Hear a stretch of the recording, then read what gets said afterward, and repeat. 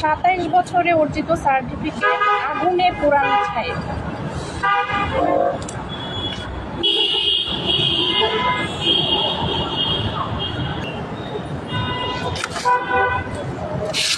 Sorry এখানে প্রচুর বাতাস আসলে প্রচুর বাতাস, এই আমার এসএসসি সার্টিফিকেট। এই সার্টিফিকেটের কোনো দাম নাই এখন। একই দিনে যদি তেত্রিশটা পরীক্ষা হয়, তাহলে কীভাবে শিক্ষার্থীরা পরীক্ষা দেওয়ার সুযোগ পাবে? পড়াশোনার দরকার নাই, অবরোধ বাসিনী হয়ে থাকো, ঘরে বন্দি থাকো, বিয়ে করো বাচ্চা কাচ্চা জন্ম দেও, সংসার করো, শেষ। আমাকে ক্লাস এইটে যখন পড়ি, তখনই বিয়ে দিয়ে দিতে চেয়েছিল। কিন্তু আমি আমার নিজের ইচ্ছায়, আমি নিজের মনোবলের জোরে কিন্তু আমি পড়াশোনা করেছি। আমি এমনকি নিজের বিয়েও ভেঙে দিয়ে আমি মানে আমাকে পড়তে দেওয়া হবে না এরকম ফ্যামিলি থেকে যখন আমার বিয়ের কথা হচ্ছিল আংটি পড়িয়েছিল আমি কিন্তু সেগুলো ছুঁড়ে ফেলে দিয়ে আমি কিন্তু ঢাকায় ইন্টারমিডিয়েটের পরে চলে এসেছি। কারণ আমাকে পড়াশোনা করতে হবে, নিজের পায়ে দাঁড়াতে হবে। আমার যেই বন্ধুটি ক্লাস ফাইভ পর্যন্ত পড়াশোনা করেছেন বা ক্লাস টেন পর্যন্ত পড়াশোনা করেছেন, তারা কেউ কিন্তু বেকার না, কেউ রিক্সা চালাচ্ছেন, কেউ ঝালমুড়ি বিক্রি করছেন কেউ বিদেশে গিয়ে রেমিটেন্স যোদ্ধা হয়েছেন। কিন্তু আমরা যারা উচ্চশিক্ষিত, উচ্চতর ডিগ্রি নিয়েছি, তারা কিন্তু কেউই আসলে ওই ঝালমুড়ি বিক্রি করতে পারছি না, চা বিক্রি করতে পারছি না। বিশ্ববিদ্যালয়ের কথা যদি বলি, বেকার তৈরির কারখানা। ভুরি ভুরি বিশ্ববিদ্যালয়ে বর্তমানে কিন্তু ওপেন করা হচ্ছে। কিন্তু বিশ্ববিদ্যালয়তে কারিগরি শিক্ষা বা কর্মমুখী শিক্ষা যেটা মানে আমাদেরকে বলা হয় হাতে কলমের শিক্ষা সেগুলো কিন্তু কোনো বিশ্ববিদ্যালয়ে বর্তমানে কিন্তু খুব একটা দেখা যাচ্ছে না। আমি মূলত প্রতিবাদ করেছি ছাব্বিশ লক্ষ পঞ্চাশ হাজার বেকার বেকারের হয়ে এবং পরবর্তী প্রজন্ম যারা পড়াশোনা করবেন তাদের হয়ে। কারণ দেখা গেছে যে আমরা সাতাইশ বছর কষ্ট করে পড়াশোনা করার পর সার্টিফিকেট কাজে লাগানোর সুযোগ খুব একটা পাই না কিন্তু আমরা।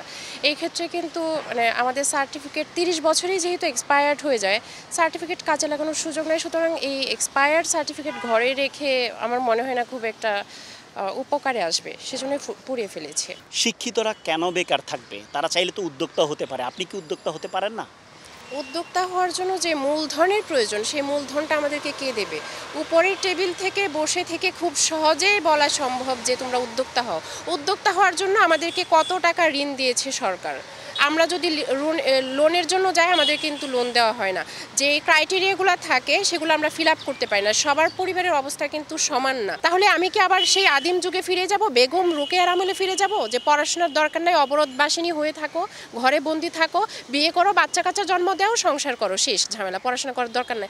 এখন তো বিষয়টি এরকমই হচ্ছে। আমার পরিচিত একজন আপু, যার হাজব্যান্ড অ্যাক্সিডেন্ট করে এখন মানে কি বলে, অচল অবস্থায় আছেন। সেই আপুটি মাস্টার্স পাশ করা। আপুর বয়স তিরিশ, অতিক্রম হয়েছে, তার দুইটা বাচ্চা আছে, সংসার উপার্জন করার মতো কেউ নাই।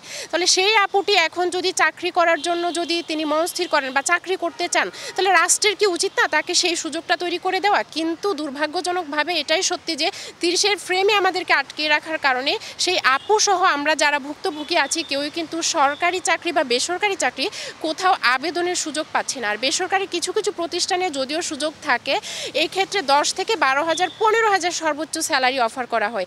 এই টাকা দিয়ে বর্তমানে মানে বাসা ভাড়া, যাতায়াত ভাড়া দিয়ে আর কিছু থাকার কথা না। আমার মনে হয় আরও লোন হওয়ার কথা। আমার সার্টিফিকেটের স্বাধীনতা চাই। জাতির জনক বলেছিলেন, এই স্বাধীনতা আমার পূর্ণ হবে না। যদি এদেশের মানুষ, যারা আমার যুবক শ্রেণি আছে, তারা যদি কাজ না পায় বা চাকরি না পায়, আমার সার্টিফিকেটের স্বাধীনতা লাগবো, আমার চাকরিতে আবেদনের স্বাধীনতা লাগবো। আজকে দেখেন, যদি দশ জিবি ইন্টারনেট আপনাকে পাঁচ মিনিটে শেষ করতে বলা হয়, সেটা কিন্তু সম্ভব না।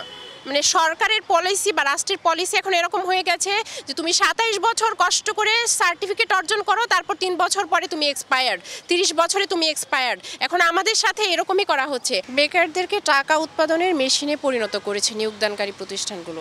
আজকে দেখেন, একই দিনে যদি তেত্রিশটা পরীক্ষা নেওয়ার মতো ঘটনা ঘটে, একজন শিক্ষার্থী তো পরীক্ষায় বিশটা সার্কুলার আবেদন করেছেন। তাহলে একই দিনে যদি তেত্রিশটা পরীক্ষা নেয়, একজন শিক্ষার্থী তো সর্বোচ্চ সকাল বিকাল পরীক্ষা হলে দুইটা পরীক্ষায় অংশগ্রহণ করার সুযোগ পান। তাহলে বাকি আঠারোটা পরীক্ষায় যে অংশগ্রহণ করার সুযোগ পেল না, সেটা কি অপরাধ না? সেটা কি অন্যায় না?